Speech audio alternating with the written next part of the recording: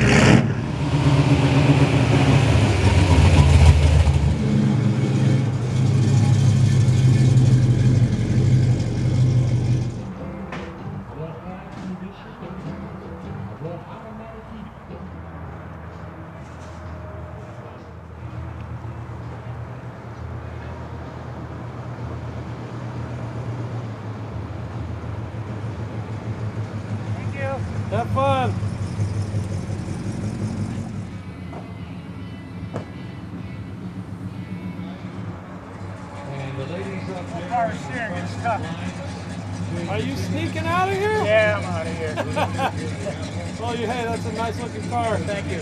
Yeah, I bought this new. Really? September 25th, 66. No kidding. Yeah. Except for tires and wheels, it's under unrestored.